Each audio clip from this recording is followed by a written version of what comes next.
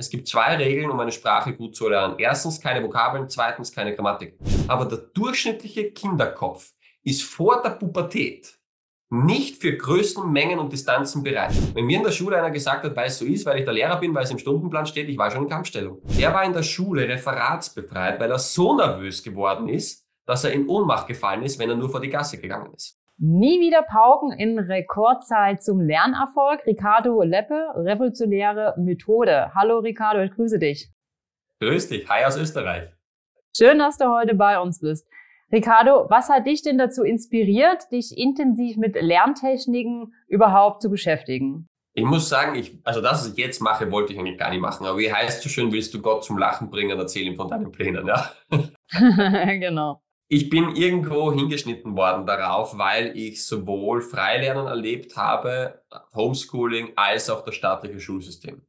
Und meine Eltern zumindest Basics wussten, wie man anders lernt. Ich habe auch die ersten Jahre zu Hause eben verbracht mit nur 30 Minuten pro Woche lernen. Und das geht eben nur, wenn du dich damit beschäftigst, wie funktioniert dieses Gehirn. Und du kennst das von manchen Kindern, die können sich 500 Pokémon mal schnell auswendig merken oder bei einer Serie alles, aber drei Buchstaben einer Chemieformel ist ihnen dann zu viel im Kopf. Das heißt, es liegt nicht am Kindergehirn, sondern es geht um dieses Wie. Und da wusste ich zumindest damals schon die Basics. Habe einen normalen Schulabschluss gemacht und dann bin ich ein Berufszauberer geworden. Und in der Zauberei für Erwachsene, wenn du auf der Bühne stehst, dann musst du performen können. Da kann es nicht sein, dass du jemanden auf die Bühne bittest und dann dreimal nachfragen musst, du, wie heißt denn du? Äh, ich ich habe es vergessen, können wir noch einmal, ja? Oder ich lasse dich eine Karte ziehen und nach fünf Minuten sage ich, du können wir den Trick wiederholen, ich habe vergessen, welche Karte du gezogen hast. Das ist ist in dem Job nicht sehr gut. Ja. Das heißt, dort ist auch in den Basisbüchern für die Zauberei, die man eigentlich in jeder Bibliothek bekommt, ist sowas wie Memotechnik, Logitechnik, Zahlen merken oder Speedreading was ganz Normales. Und mit dem, was ich vorher schon gewusst habe, plus das, was aus der Zauberei kam, und ich allgemein sehr wissbegierig bin und interessiert bin für verschiedene Dinge auf dem Planeten, war immer das Thema, wie kriege ich Informationen noch schneller in meinen Kopf hinein. Und das wollte ich eigentlich nur für mich. Also ganz, ganz ehrlich gesprochen, das war nie gedacht, dass das in die weite Welt hinausgeht. Äh, ich habe nicht, ich habe auch nicht gewusst, wie es den meisten anderen Kindern in der Schule geht, weil ich dachte, hey, das ist so Basiswissen, das kann ja nicht sein, dass die das nicht wissen. Und ja, dann bin ich mit 25 per Zufall in eine Schule reingestolpert, habe das angefangen, denen dann zu zeigen, weil mich eine Lehrerin eingeladen hat. Das ist dann eben nicht so gewachsen, sondern so in alle Richtungen irgendwie gleichzeitig. Und dann habe ich über 50.000 Kinder gefragt, wie sie sich Schule und Lernen und Bildung vorstellen, habe daraus Schulmodelle gemacht, habe daraufhin wieder weitere Techniken weltweit zusammengesucht, um gewisse Probleme zu lösen. Ja, und heute bin ich hier. Schnelle Antwort darauf, warum Lerntechniken oder wie ich auf die gekommen bin. Sehr schön. Kannst du uns vielleicht einmal erklären, was genau deine Turbotechnik für den Lernerfolg auszeichnet? Also du brauchst ja je nachdem, was du machst, ob das jetzt Vokabellernen ist, ob das jetzt Namen merken ist, sind es ja teilweise verschiedene. Und es geht eigentlich gar nicht so sehr um eine Technik, sondern um basisbiologisches Wissen, das wir seit Ewigkeiten haben. Jetzt weiß ich gar nicht, bist du zufällig Mutter? Zufällig nicht, nein. Du kennst einige Mamis, ja? Und ja. wie ihren Kindern etwas beibringen, da hat ja keiner einen Kurs besucht mit, wie bringe ich meinem Kind die Muttersprache bei oder die ersten Worte bei. Das läuft alles automatisiert. Und diese Basics, die die machen, um die geht's eigentlich. Wenn wir die weiterführen würden im Schulsystem, dann hätten wir diese ganzen Probleme nicht. Ich gebe dir ein Beispiel. Ja? Die Basisdinge des Lernens sind sehr einfach. Wir lernen über die Beziehungsebene, das heißt, mag ich dich, vertraue ich dir. Und wenn dann der Lehrer reinkommt, guten Morgen, schlag auf das Buch auf Seite 24, da kannst du den Rest schon knicken, es ist vorbei. Ja, stell, dir mal vor, das erste Date mit deinem Partner läuft eben genau so ab. Er sagt, ah, hi, bin der Max und und ist dann gleich wieder weg oder ist zu spät und sagt am Schluss noch, Alte, du zahlst. Ja? Vergiss es. Also wenn diese Beziehungsebene nicht funktioniert, nimmt das Gehirn Informationen nicht gerne auf. Das ist das Erste. Das Zweite ist die Vorbildebene. Lebt er das, was er sagt? Das heißt, wenn ich mich jetzt hinstellen würde und ich sage, ich verkaufe Bodybuilding-Kurse, wird es schwierig, weil ich sehe verdammt nochmal nicht aus wie ein Bodybuilder. Du jetzt auch nicht unbedingt. Ja? Das heißt, es wird auch schwierig. Und das machen wir mit Kindern. Wir bemühen uns, eine Beziehung mit denen aufzubauen. Das machen wir vor allem mit je jünger Kinder sind, stellen wir uns vor und bemühen uns, dass wir mit denen Zeit verbringen, dass wir uns aus unserem Leben erzählen und dann sagen wir Dinge wie, mach mal wie Papa, schau mal, was Mama macht, mach doch mal mit. Also wir machen Vorbildebene, wir machen etwas vor und bemühen uns, dass der andere das nachmacht. Und wenn das gegeben ist, gibt es noch vier weitere Aspekte, die das Gehirn braucht, um Informationen effizient aufnehmen zu können. Das erste sind Bilder, dann ist es Lustiges, Emotionales und Verknüpftes. Und das machen alle Eltern mit Kindern vollkommen automatisiert. Abgesehen davon, dass natürlich die Beziehungs- und Vorbildebene bei niemandem stärker ist als zwischen Eltern und Kind. Und dann, wenn wir jetzt in die anderen vier Aspekte reingehen, bildhaft heißt ja Bildung, nicht Ausbildung, so wie es der Staat gerne nennt, ja, Bilder, Bildung, Visionen. Und wir sagen dann zu den Kindern, schau mal, Schatzi, der große Baum, das rote Auto, siehst du, das ist ein Telefon, das ist eine Spielkarte, das nennt man Stift. Wir machen das aber immer so, dass das Kind etwas sehen kann. Wir würden nie sagen, du, diese Formel musst du jetzt auswendig lernen, wenn du in 23 Jahren in China Architektur studierst, könntest du die im zweiten Semester eventuell mal brauchen. Das macht im Hirn nichts. Da hat das Gehirn ein Riesenproblem damit. Ich kann es ja auch ganz einfach mit dir testen. Schließ doch mal bitte die Augen. Drei einfache Fragen, wo du dir bitte ein Bild dazu vorstellst. Das erste wäre bitte ein Bild von deiner Mutter. Geht das? Ja ein Bild von Burkina Faso. Wenn du hm. nicht weißt, was das ist, das ist ein Land in Afrika. Mhm. Und das dritte, ein Bild, ein Bild von Oyante Tambo. Augen wieder auf. Was ist gerade passiert? Deine linke Hirnhälfte, die hört mir zu und nimmt die Information auf. Und die stellt der rechten Hirnhälfte eine sehr einfache Frage. Liebe rechte Hirnhälfte, hast du was? Eine Information, ein Bild, was Lustiges, irgendwas, was ich nutzen kann zu dem, was der gerade gesagt hat. Und wenn die rechte sagt nein, sagt die linke, dann schmeiße ich das in der Sekunde wieder raus. Das erste konntest du nicht vergessen haben, weil da sind so viele Verknüpfungen in deinem Gehirn angelegt, so nervös kann ich dich nicht machen. Also das probieren mit siebenjährigen Mädchen auf der Bühne vor Lehrern, die weiß immer noch erst, das war die Mama. Beim zweiten hätte ich in deinem Fall eine 50-50 Chance, ob du noch weißt, was das ist, weil ich habe dir eine Verknüpfung gelegt, was es ist. Weißt du das zweite noch? Ja, ein Land in Afrika. Siehst du, Land Afrika hat Verbindungen erzeugt, hat auch Bilder erzeugt, wie auch immer die aussehen in deinem Kopf. Und damit konnte dein Gehirn arbeiten. Burkina Faso ist weg. Ja. Hätte aber auch sein können, dass noch da ist, weil eine Verknüpfung gewesen ist. Beim dritten weißt du gar nichts mehr. Mhm. Weißt du noch Anfangsbuchstaben per Zufall? Ich glaube C oder K oder irgendwas. Nee, O. Also, ja. Ist eine Region in Südamerika, in Peru, wo ich mal war. Aber genau mhm. das passiert eben im Gehirn, wenn man kein Bild, keine Verknüpfung erstellen kann, ja. dann schmeißt das mhm. Gehirn das raus. Und wenn du dann in der Schule mehrere solche Begriffe pro Stunde bekommst, manchmal sechs bis acht Stunden am Tag, kommen manche Kinder nach Hause und dann hörst du den Zeit, Schatzi, was hast du heute gelernt? Und die sagen nichts und dann glauben wir, wir sind blöd. Stimmt nicht. Es geht darum, wie kommt's an? Und wir brauchen ein Bild im Kopf. Dann ist das zweite blöd, dumm, abstrus, lustig. Stell dir vor, hinter dir kommt jetzt jemand, der schüttet dir ein Coca-Cola über den Kopf, eine ganze Flasche mitten in der Live-Sendung und das geht ins Internet. Ich schwöre dir, wenn du im Altersheim sitzt, das weißt du noch. Wer hat in der Schule wem den Zahn ausgeschlagen, wer hat wo Mist gebaut, je dümmer, desto besser fürs Gehirn. Deswegen blödeln wir mit Kindern, wir nennen das auch so. Drittens, wir emotionalisieren. Schatz, das hast du toll gemacht, nimm das doch mal morgen mit zu Papa, der freut sich so, zeig das mal Oma, die hat doch immer so Spaß daran. Das heißt, wir emotionalisieren das, was gerade vor uns ist. Und viertens, wir verknüpfen es mit Dingen, die das Gehirn schon kennt. Also jetzt erlebst du, aha, Kind kennt, schau mal, ich habe normal immer eine Reichweite was, eine Spielkarte nicht. Kind weiß nicht, was eine Spielkarte ist. Dann kommen Sätze wie, Schatzi, das kennst du von, das ist ähnlich wie, das nutzen wir bei, das hast du gesehen dort. Das heißt, wir verbinden es mit allem, was das Gehirn schon verarbeiten kann. Und wenn man diese Grundaspekte einbaut, und das geht auf jeden Schulstoff, das beweise ich seit Jahren, ob das Physikformeln ist, ob das Just-Studenten sind oder ob das das Einmal-Eins ist, dann ist das meiste der Probleme schon erledigt. Aber das Thema ist, dass das eben genau nicht gemacht wird und du deswegen wahrscheinlich auch die meisten Physikformeln aus deiner Schulzeit nicht mehr weißt, weil sie eben nicht in diese Kategorien gefallen sind. Und dann glauben wir oft, es liegt an uns und ich habe halt kein Talent für Mathematik oder sonstigen Blödsinn. Ist nicht unser Fehler. Wie haben denn deine persönlichen Erfahrungen als Kind dein Verständnis und auch deine jetzige Methode des Lernens beeinflusst? Hast du dich da auch so ein Stück weit zurückerinnert, wie es bei dir war? Äh, ja, also für mich war das normal, dass ich sehr schnell lerne. Mhm. Und ich habe damals nicht gesehen, wie es den anderen Kindern geht, muss ich sagen. Ich habe schon gemerkt, die sind langsamer, aber du siehst ja dann nicht, wie lange büffeln die zu Hause oder, oder wie lang sitzen die an den Hausaufgaben und so. Das, das siehst du ja nicht wirklich. Und du bist dann auch in der Pubertät, also du bist verliebt, du hast dann andere Sorgen, dein Körper wächst plötzlich, äh, du fängst an mit der Zauberei, du überlegst dir, was mache ich beruflich mal machen. Ich habe nicht so einen Blick gehabt, wie es den anderen wirklich geht. Ich habe erst, wie ich dann plötzlich mit 25, 26 wieder in Schulen gegangen bin, gemerkt, oh, und dann mich zurückerinnert an meine Schulzeit, habe ich gesagt, oh, da gibt es Parallel. Ja, stimmt, das hattet ihr auch. Ja, stimmt, die hat sich dann immer schwerer getan. Ja, die hat immer gesagt, die lernen zu lang. Ja, die Mutter hat das auch.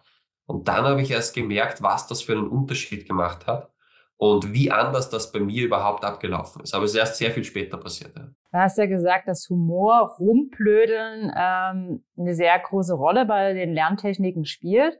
Wie sieht's denn aus mit Emotionen? Also ich hatte eigentlich so das Gefühl, dass gerade Kinder, die eher sage jetzt mal aus sozial schwachen Verhältnissen oder aus ähm, ja schwierigen Verhältnissen kommen, das Lernen auch öfter, meistens schwerer fällt als Kinder, die aus einem sehr sehr sag ich mal sicheren Umfeld kommen. Jein. Also ich sagte ja schon, also es sind Bilder, Lustiges, Emotionen, Verknüpfungen. Also Emotion ist definitiv ein klarer Part das mit dem, wie es den Eltern ist, da geht es darum, dass wir an der Vorbildebene leben und lernen. Das heißt, Eltern, mhm. die eher in einem, sagen wir mal, sozial schwachen Umfeld sind, die repräsentieren das auch. Und die Kinder lernen eben genau das. Ja. Das ist das Problem. Also die sind jetzt nicht blöder wie alle anderen, da gibt es jetzt keinen Verteiler. Also ich sage das auch immer zum Spaß, wenn manche sagen, ja, in Indien sind die Mathe-Genies oder in Südkorea nicht bei uns. Ich sage, da sitzt kein Verteiler. Er sagt, oh, du bist ein kleines Baby, du bist ein Mathe-Genie, ich schicke nach Indien, oh, du bist ein Mathe-Depp, ich schicke nach Deutschland. Ja. Also so passieren diese Dinge nicht. Wir lernen an dieser Vorbildebene, wir nehmen das auf, was in unserer Umgebung ist. Man kennt es ja auch, wenn alle im Umfeld sportlich sind, ist die Wahrscheinlichkeit, dass das Kind sportlich wird, sehr hoch. Umgekehrt, wenn alle dickleibig sind oder alle rauchen, ist die Wahrscheinlichkeit auch hoch, weil wir eben über Nachahmen, über die Spiegelneuronen Dinge aufnehmen. Hat nichts mit Gehirnintelligenz oder sonst irgendetwas zu tun, sondern einfach nur mit der Umgebung. Und ein Kind aus armen Verhältnissen kann fünfmal besser sein in der Schule oder beim Lernen oder beim Intelligenztest als andere. Aber es fordert es meistens nicht, weil es das nicht sieht. Und was wir nicht sehen und nicht wahrnehmen, dort gehen wir nicht hin. Und das ist ja wie beim Lernen. Die meisten kennen Schule oder Schule. Und wenn dann manche sagen, ja, Homeschooling funktioniert doch nicht oder Freilernen oder was auch immer. Hast du es probiert? Hast du schon mal erlebt? Nö. Denn worüber diskutieren wir dann? Oder, oder Menschen, die sagen, ja, bei uns im Land haben wir das beste Bildungssystem aller Zeiten. Und ich sage, hast du dir andere Länder angesehen oder andere Bildungssysteme? Nein. Ich sage, dann brauchen wir gar nicht diskutieren. Und diese Kinder sehen oft nur eine Art des Lebens. Dann machen sie das eben nach. Kannst du uns vielleicht mal ein Beispiel geben, wie man Vokabeln, zum Beispiel einer Fremdsprache, ohne stupides Auswendiglernen effektiv lernen kann? Ich stelle eine Gegenfrage. Ich meine, ja, kann ich, habe ich auch viele Videos dazu. Hast mhm. du deine Muttersprache erlernt? Ja, also. Kennst du Menschen, die zweisprachig aufgewachsen sind? Mhm. Kennst du Menschen, die zwei oder drei oder zumindest mit einer Sprache aufgewachsen sind, die Vokabel gelernt haben? Nein. Naja, also nicht effektiv, also nicht durch stupides Auswendiglernen. Das heißt, wir haben alle eine oder zwei Sprachen gelernt, ohne Grammatik, Vokabel, Bücher, Lehrer und Nachhilfe. Wir machen es nachher genau mit diesen fünf Dingen und wundern uns, warum es nicht funktioniert. Ich glaube, die Vera Birkenbiel war die erste, die gesagt hat, es gibt zwei Regeln, um eine Sprache gut zu lernen. Erstens keine Vokabeln, zweitens keine Grammatik. Also ich würde, wenn ich eine Sprache angehe, mir gar keine Vokabeln mehr so aneignen. Wenn man sich ansieht, wie Sprachenlernen funktioniert, wie effizient das Eltern mit Kindern machen und wie die Gehirnabläufe sind, dann wirst du merken, du brauchst Vokabeln nicht. Jetzt ist allerdings das Problem, dass viele das so kennen aus der Schule, dass es nur über Vokabeln läuft. Also habe ich trotzdem einiges an Videos gemacht, wie es auch mit Vokabeln schneller geht. Ja. Äh, möchtest, soll ich das trotzdem erklären? Ja, es wäre schön, weil ich kann mir das jetzt ehrlich gesagt schwer vorstellen. Also klar, wenn ich ein Kind bin und meine Eltern sprechen sowieso diese Fremdsprache oder mein Partner, weil ich jemanden kennenlerne, der aus einem anderen Land kommt, dann ist es natürlich relativ einfach, weil ich es ja immer wieder höre. Aber wenn ich jetzt äh, alleine lebe und ich sage, ich will jetzt gern Spanisch lernen oder Russisch oder was auch immer, und ich habe aber niemanden in meinem Umfeld, der diese Sprache spricht. Wie kann ich sie dann lernen? Indem du Spanisch laufen lässt. Wenn du drei Wochen in Spanien bist, verstehst du plötzlich den einen oder anderen Satz und du verstehst gar nicht warum. Das, das kennt jeder. Ja? Ich habe selber drei Jahre in Peru verbracht als Kind. Ich verstehe Spanisch, ich kann dir aber nicht sagen in dem Satz, was was bedeutet, aber ich weiß, was der gesagt hat. Weil das Gehirn unterbewusst so eine Sprache lernt und aufbaut. Über passives Zuhören. Darüber lernen wir die Sprache. Und wenn wir das einmal verstanden haben, dann können wir 90 Prozent der Vokabelzeit und sonstiges weglassen. Das heißt, der, der Trick wäre, das, was Eltern mit Kindern machen, du lässt dich zuschallen im Hintergrund. Nicht aktiv, so ich höre mir jetzt einen spanischen Podcast an. Nein, du gehst essen, du gehst am Computer was arbeiten, bearbeitest deine E-Mails, gehst abwaschen, kochen, was auch immer und im Hintergrund läuft das. Mhm. Und dann baut dein Gehirn im Hintergrund dieses Sprachgefühl auf. Das ist ja wie in der deutschen Sprache. Wenn ich dich jetzt wahrscheinlich deutsche Grammatik abprüfe, wirst du wahrscheinlich scheitern. Wenn ich dich frage, hey, ist der oder der Satz richtig, kannst du mir das sofort beantworten, aber nicht aus dem Gehirn, sondern aus dem Bauchgefühl. Mhm. Wenn ich sage, helfen bitte mir du, sagt jeder, das ist falsch. Sag ich, nenne mir die grammatikalischen Regeln, wie dieser Satz richtig zu stellen ist. Die weiß fast niemand, wenn du nicht Deutschlehrer bist. Aber aus dem Bauchgefühl kannst du ihn sofort richtig stellen. Und es geht darum, dieses Gefühl für die Sprache, dass ich alleine beim Gehör schon mitbekomme, ob was richtig oder falsch ist, das in den Bauch hineinzubekommen. Und das geht rein über passives Zuhören. Und erst dann, irgendwann viel später, können wir über Vokabeln sprechen. Mhm. Und dann auch über dieses Zuhören, das dann irgendwann einmal, wenn du das Gefühl hast, nachsprechen. Also wie ein Kind. Das Kind fängt an erst zu sprechen und viel später erst zu schreiben und zu lesen. Und wir drehen diese ganzen natürlichen biologischen Mechanismen um und wundern uns, warum dann Vokabellernen keinen Spaß macht oder warum es nicht hängen bleibt. Wenn wir jetzt trotzdem zu Vokabellernen kommen, dann geht es darum, dass wir klare, lustige Bilder dazu kreieren können. Ja, so wie die Mutter dir was über die Spielkarte erklärt hat oder über das rote Auto oder was auch immer, da ist irgendetwas zusätzlich passiert. Ob das jetzt eine Emotion war, ob das ein Wissensbaustein war, irgendetwas. Und wenn ich jetzt zu dir, machen wir es mal immer mal ins Französische hinein, kannst du dir vorstellen, du bist in Frankreich und siehst eine Kuh. Siehst du eine Kuh auf der Weide, ja, und jetzt musst du dir vorstellen, die Kühe in Frankreich, die sind so dreckig, die musst du immer waschen. Immer wasch die Kuh. Was heißt denn Kuh? Wasch. Verstehst du, jetzt habe ich eine Verbindung mit einem Wort, das ich in meiner Sprache schon verarbeiten kann. Wenn ich jetzt hm. nur lerne, Vokabel Kuh, wasch, sagt das Gehirn, die rechte Hirnhälfte, ja, äh, lustig? Nö. Verknüpft? Nö. Verbindung? Nö. Aber nie, nichts, was ich verarbeiten kann. Du musst dem Gehirn einen Grund geben, warum es speichern sollte. Es braucht immer eine Begründung im Hirn.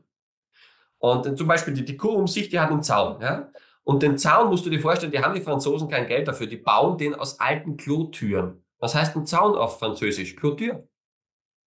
Ja? Verstehst du, was ich meine? Oder kann ich jetzt ganz viele so Beispiele, habe ich auch etliche, das ist eine Möglichkeit. Du kannst in Silber auftrennen, du kannst Gesamtbilder dazu machen.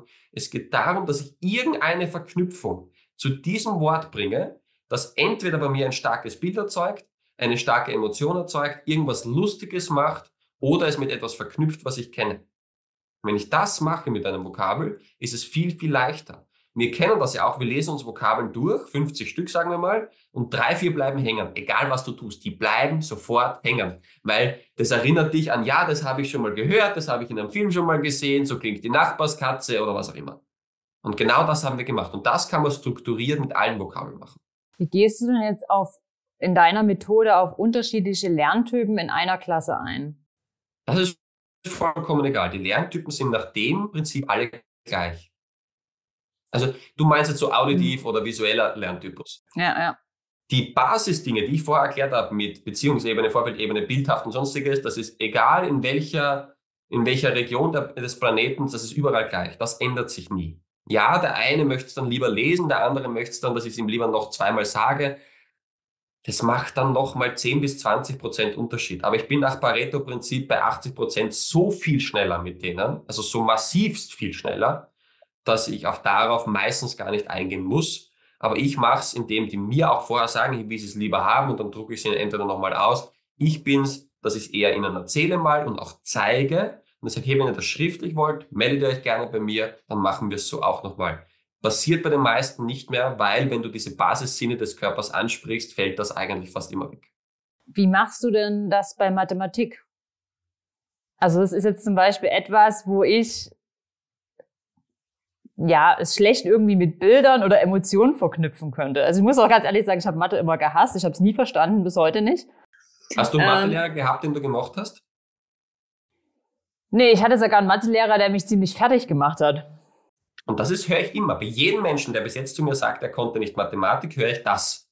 Ja, also ich hatte wahnsinnige Angst vor Mathe. Es war für mich ein Albtraum, ein purer Albtraum. Nicht nur wegen dem Lehrer, aber weil ich einfach diese, dieses, ähm, dieses logische Denken einfach für Zahlen auch nicht hatte. Ich kann damit einfach nichts anfangen. Also es ist für mich, geht bei mir komplett durch. Doch, du hast das. Hast du ein gutes oder ein schlechtes Namensgedächtnis? Also ich dachte eigentlich immer, dass ich ein schlechtes habe, aber ich muss in letzter Zeit feststellen, im Vergleich zu den meisten anderen habe ich ein sehr gutes. Du für dich. Ja, ich würde sagen, ist okay. Und dein Zahlengedächtnis? Das ist eine Katastrophe. Ist beides falsch von deiner Aussage her, kann ich dir garantieren. Mhm. Schau, das sagen mir die Menschen dauernd. Ich habe ein schlechtes Zahlengedächtnis, ich habe ein schlechtes Namensgedächtnis, ich habe kein Gefühl für Mathematik. Die werden alle, so wie du jetzt an meiner ersten Frage scheitern. Okay. Nehmen wir mal das Zahlengedächtnis, wo du sagst, du bist schlecht, ja? Weißt du, wie dein Zahlengedächtnis funktioniert und hast du es jemals trainiert? Nein. Hat doch nie einer mit Ja geantwortet, weil dann würden alle draufkommen, oh, ich habe ein untrainiertes Namensgedächtnis. Gibt es einen schlechten Muskel? Nein. Es gibt einen trainierten Bizeps oder trainierte Bauchmuskeln und untrainiert. Es gibt keine schlechten. Kann man von mir von der Form, manche haben den Bizeps, aber es gibt keine schlechten Muskeln. Es gibt auch mhm. kein schlechtes Gedächtnis. Es gibt trainiertes und untrainiertes. Und ich kann dir garantieren, ich kann dir das schicken nachher, ja, es ist alles auf der Webseite. Gehst du mal den Bereich Zahlen durch, einen Monat lang, jeden Tag ein paar Minuten, nicht einen Tag. Weißt du, du hast nicht mit einem Tag Radfahren gelernt, du hast nicht mit einem Tag sprechen gelernt und du kannst nicht im Fitnessstudio in einem Tag fit werden. Der Körper braucht ein paar Wochen, bis er sagt, ah, die will da was von mir. Und dann wirst du nach einem Monat, spätestens nach zwei, genauso wie alle anderen mir sagen, oh, ich habe ja ein Hammerzahlengedächtnis und ich habe ein Hammerzahlengefühl. Ich wusste es gar nicht. Das Problem ist aber, wenn ich dir nicht erkläre, wenn du vielleicht eher kreativ bist, eher emotional unterwegs bist, das heißt mehr rechtslastig im Gehirn, dann tust du dir mit Zahlen und logischen Abfolgen davon schwer. Ja. Wenn man dir aber zeigt, wie du mit deiner rechten Hirnhälfte die linke mit hinzunehmen kannst, bist du sogar schneller wie die Logiker.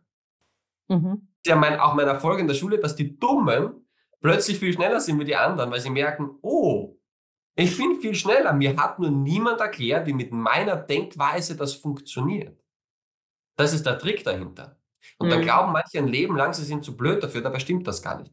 Das ist das eine. Äh, und wenn wir jetzt bei Mathematik bleiben, was ja das Hauptfünferfach ist, also die meisten fallen in Mathematik und die meisten Nachhilfestunden sind in Mathematik. Und alle haben Panik davor. Erstens einmal wird es auch schon von den Eltern und von den älteren Geschwistern immer schon so suggeriert. Ja, die meisten Mamis haben schon Panik, die geben das an ihre Kinder schon weiter sagen, Schatzi, da Mathematik. Was hast denn du für eine Vorstellung davon? Ja, mit, ja, dann musst du durch, so schlimm wird es schon nicht werden, ich habe es auch überlebt. dann stell dir mal vor, du bist meine Mama und ich sage, du Mama, wie ist denn so eine Ehe? Ja, da musst du durch, ich habe es auch überlebt, so schlimm wird es schon nicht werden. Dann sage ich, scheiße, ich heirate nicht. Dann stell dir mal vor, du gehst mit dieser Basiseinstellung in Mathematik rein.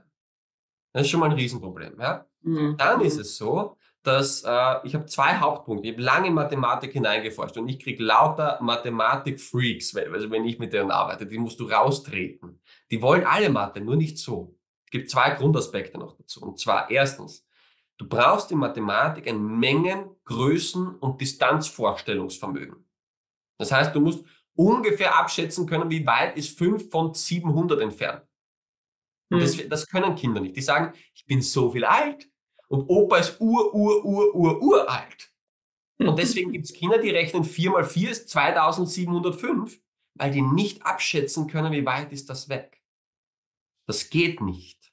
Es gibt ein paar wenige, die das können, aber der durchschnittliche Kinderkopf ist vor der Pubertät nicht für Größen, Mengen und Distanzen bereit. Da müssten wir jetzt in die, die Gehirnforschung und Biochemie da reingehen, aber kann er nicht. Ich habe das in weiß nicht wie vielen Klassen probiert. Jetzt hast du der Achtjährige vor dir und du sagst, der Klasse bringt mir einen Gegenstand mit sieben Kilogramm.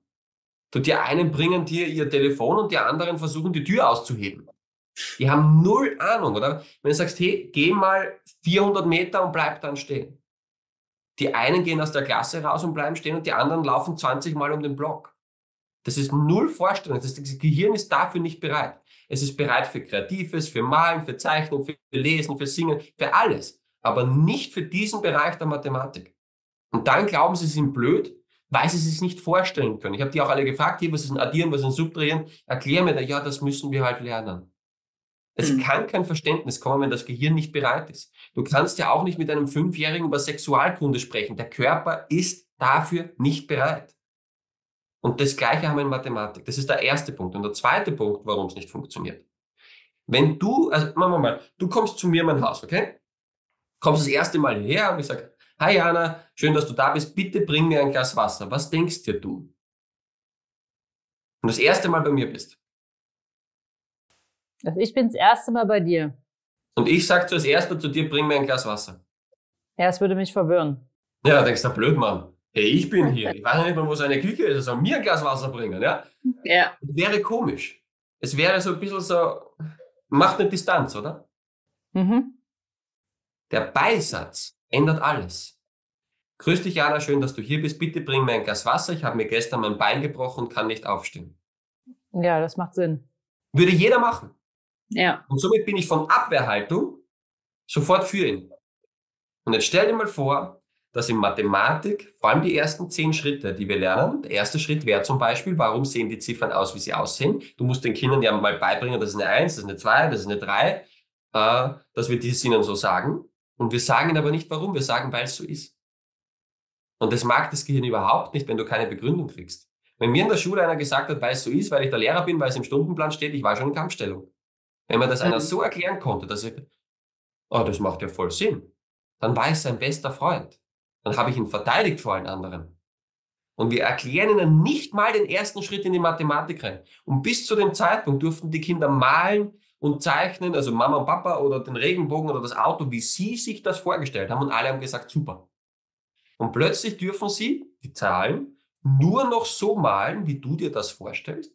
Und wenn die fragen, warum, kriegen sie, weil es so ist. Was ist das für ein Einstieg in Mathematik? Und dann machst du den nächsten Schritt in Mathematik und dann kriegst du wieder, weil es so ist, friss oder stirb. Und dann kriegst du den nächsten und dann heißt wieder, weil es so ist. Das machst du gefälligst so, friss oder stirb. Jetzt stell dir mal vor, du gehst in etwas Neues rein und die ersten zehn Schritte stellst du Fragen und jedes Mal heißt es, du machst das gefälligst jetzt so. Plus, dass dein Gehirn sich das gar nicht vorstellen kann. Und dann wundern wir uns. Und wenn du diese zwei Punkte bereinigst bei den Kindern, ja, das würde jetzt den Zeitrahmen ein bisschen sprengen, braucht man nur mal auf die Webseite gehen, zweiter Menüpunkt, runterscrollen bis zum Bereich Mathematik, da kann man sich das auch alles runterladen, dann wirst du merken, die Kinder lieben Mathematik. Sie wollen es nur nicht so. Wir müssen es gehirn- und kindgerecht machen. Dann fallen die Probleme einfach weg. Und ja, ich kann die längste mathematische Formel auch bildhaft machen, lustig machen und ich kann die so gestalten, über Zoom immer ein bisschen schwierig, weil dieses Menschliche auch so ein bisschen fehlt, aber ich kriege das in Mädchenklassen hin, dass die Formeln auswendig lernen und die kriegen Bauchkrämpfe vor Lachen. Das geht. das kann ich garantieren. Man muss nur wissen, wie. Ja klar, also ich konnte mir auch nie Nordost, Südwest merken, wo was ist, bis dann eben meine Geolehrerin sagte, nicht ohne Seife waschen. Ne? Und ja. seitdem ist es halt drin. Also seitdem stellt sich die Frage nicht mehr. Hat dann auch lange gedauert, aber. Du hast keinen Orientierungssinn oder du bist halt genau. eine Frau. Nein. Es fehlt dir eine Erklärung, die für dein Hirn Sinn macht. Mhm. That's it. Das ist das ganze Geheimnis. Was, glaube ich, auch so ein großes Angstthema ist, bei Kindern, aber auch bei Erwachsenen, ist es, vor Menschen frei zu sprechen. Oder ein Referat zu halten, eine Rede zu halten. Ähm, auch da haben wir oft Schwierigkeiten, ähm, ich sage mal, uns, den, uns die Rede zu merken, selbst mit Stichpunkten. Ja, also wie wie lerne ich da auch äh, möglichst da nicht abzulesen, beziehungsweise wie gehe ich dann auch mit Nervosität um? Das ist ja dann eigentlich auch das große Problem, dass dann viele Menschen so ein, ja, sage jetzt mal so ein Blackout haben. Was kann man da machen? Um Kindern oder auch selbst Erwachsenen da diese Angst zu nehmen und ähm, sich besser auf so ein Referat vorzubereiten? Boah, wie sage ich das sehr kurz? Also Blackout habe ich genauso einige Videos dazu. Es hat einen biologischen Sinn, warum Blackout kommt beim Körper. Der will dich eigentlich schützen vor etwas. Und wenn wir das nicht verstehen, dann kippt unser Gehirn darauf ein und dann geht gar nichts mehr. Das Problem ist in unser Verständnis, also in unser Nichtverständnis dafür. Und zum Thema Referat halten und sonstiges übrigens die größte Angst der Menschheit noch vor Tod, Krankheit, Flugzeug abstürzen und Co. ist es vor vielen Menschen sprechen zu müssen. Das ist meine größte Freude. Also ich hatte letztens, ich glaube, ich habe vor 2500 Menschen gesprochen. Ich fühle mich einfach wunderbar damit. Ich rede dort fünf Stunden, kein Zettel, kein Nie, habe ich nie etwas. Ja, das ist alles aus dem Kopf raus. Habe ich richtig Spaß dran. Aber sonst wählt man auch nicht den Beruf Zauberer. Gegenteil, mein kleiner Bruder. Der war in der Schule referatsbefreit, weil er so nervös geworden ist, dass er in Ohnmacht gefallen ist, wenn er nur vor die Gasse gegangen ist. Auch hier, da war das, das war das Problem, dass ich noch nicht wusste, wie ich mit allen Menschen lernen kann oder wie ich ihnen das beibringe. Und erst wie er 18 geworden ist, wusste ich, wie es auch mit seinem Typus oder mit seinem Gehirn funktioniert, weil er auch eben eher rechtsgepolt war im Gehirn und ein bisschen anders getickt hat wie ich. Ja, und das war dann drei Jahre später und dann kann der sich vor 200, 300 Menschen hinstellen und stundenlang sprechen, ohne einen Spickzettel, ohne etwas davon zu wissen. Also ohne, nicht ohne was davon zu wissen, aber ohne irgendwo was zu brauchen zusätzlich. Das heißt, das kann man lernen. Auch das wurde dir nicht gezeigt. Plus, dass dir Angst gemacht wurde, weil du vor der Gasse blamiert wurdest oder du siehst, wie sich ein anderer vor der Gasse blamiert und das benotet und bewertet wird. Diese Benotung und Bewertung, wenn du vorne bist, die macht's kaputt. Weil das dreijährige Kind, das stellt sich vorne hin und plappert einfach. Und der Vierjährige, den ich auf die Bühne hole, also ich habe ursprünglich auch mal Kinderzauberei gemacht, kurz, wenn du einen Vierjährigen auf die Bühne holst, die machen alle mit. Die freuen sich alle ein Bein aus daraus. Es kommt erst später, wenn er dann was macht, plötzlich dafür bewertet wird oder er sieht, andere kommen in die Situation, wird bewertet, das unangenehm, alle lachen und das kommt durch dieses schulische Bewertungssystem und dann schalten wir ab und haben plötzlich Angst davor, ohne dass wir verstehen, warum. Und wenn man diese Punkte, erstens einmal die traumatisierenden Punkte wieder löst, plus ihnen vielleicht, wenn sie unsicher sind, auch noch Techniken an die Hand gibt, wo er dann garantiert weiß, okay, diese, machen wir mal, 20 Stichpunkte, die weiß ich auf jeden Fall weil ich eine klare Technik habe und nur wenn ich in den Raum sehe, sehe ich die schon vor meinem geistigen Auge, dann hast du einen riesen Unterschied. Und dann haben die sogar Spaß. So wie mein Bruder plötzlich Spaß hatte daran. Und wenn der Mensch etwas hat, wo er Erfolg hat, dann geht's eh schnell. Weißt du, dann kratzen die, dann, dann wollen die eh mehr. Aber wenn du vom Misserfolg zum Misserfolg springst, dann wird's halt schwierig. Aber gibt's für beides Möglichkeiten. Äh, nur das in drei, vier Minuten beantworten wird ein bisschen schwierig, habe ich aber kostenlose Videos dazu.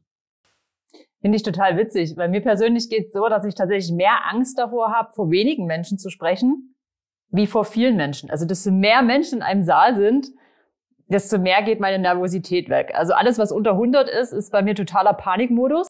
Okay. Aber einfach, glaube ich, auch, weil ich so die Gesichter sehe und weil ich auch natürlich viele Leute dann persönlich kenne und die Angst, sich zu blamieren, ist dann viel größer, als wenn ich zum Beispiel, ich habe jetzt auch vor tausend Leuten gesprochen, es hat mich überhaupt nicht angehoben. Aber man guckt dann eben den Leuten auch nicht mehr so ins Gesicht, ne? Man guckt dann eher so. Das, in es kriegt dann eine ganz eigene Stimmung. Ich sage immer so ab zwei ja, ja, ja. so eine eigene Stimmung da drinnen. Aber für die meisten ist es ja, die können noch vor zwei, drei Arbeitskollegen geht's dann noch, wenn da 100 stehen, kippen die weg. Ja. Also ich habe wirklich Leute gehabt, auch in der Zauberei, ich wusste das am Anfang nicht. Ich bin ja mit 19 direkt in den Beruf eingestiegen und habe einfach willkürlich Menschen auf die Bühne gebeten, wenn es nur darum ging, hey, sag mir deinen Namen, sag mir eine Lieblingszahl oder denk dir eine Zahl aus. Und manche sind mir wirklich fast weggekippt. Ich wusste nicht, was manche für eine Panik haben, wenn sie nur nach vorne gehen müssten vor vielen Menschen und einen Satz sagen. Und zwar einfaches wie, hey, denk, hast du eine Lieblingszahl? Was das für eine Panik für die ist, das wusste ich am Anfang nicht. Ich musste dann sehen lernen, wen kann ich überhaupt auf die Bühne holen. Äh, aber ja, es gibt zu all diesen Dingen Methodiken und meistens ist es eine Traumatisierung, ist oft uns nicht bewusst. Es ist irgendetwas Unangenehmes passiert, weil das Kind kommt nicht mit dieser Angst auf die Welt. Welche Rückmeldung hast du denn von Eltern und Kindern erhalten, die deine Methode bisher angewandt haben? Ich habe da ganze, ganze Schreibtischladen und Kisten voll mit Dankesbriefen, wobei die Hauptaussage immer ist, ich dachte, ich bin blöd, aber ich bin eigentlich ein Genie. Vielen Dank. Das ist die Hauptaussage. ja. Also sowohl Erwachsene als auch bei Kindern, die oft geglaubt haben, sie sind zu blöd für XYZ und dann ebenso wie bei dir mit Zahlengedächtnis und sagen, ja stimmt, ich weiß ja gar nicht, wie mein Zahlgedächtnis überhaupt funktioniert. Ja, du würdest ja auch nicht erwarten von jemandem, dass er Auto fahren kann oder ein Videoschnittprogramm bedienen kann, wenn man ihm das nicht zeigt. Und wenn er das nicht ein bisschen üben darf. Und dir wurde es nicht gezeigt und du durftest es nie üben. Und genau das mache ich mit denen und dann kommen die meisten eben genau auf diesen Satz drauf, hey, ich bin ja gar nicht blöd. Ich kann ja eigentlich alles erreichen, wenn ich weiß, wie. Und ich mache dieses Wie. Also da habe ich ja, viele Rückmeldungen. Nennen, nennen wir es sehr viele. Ja.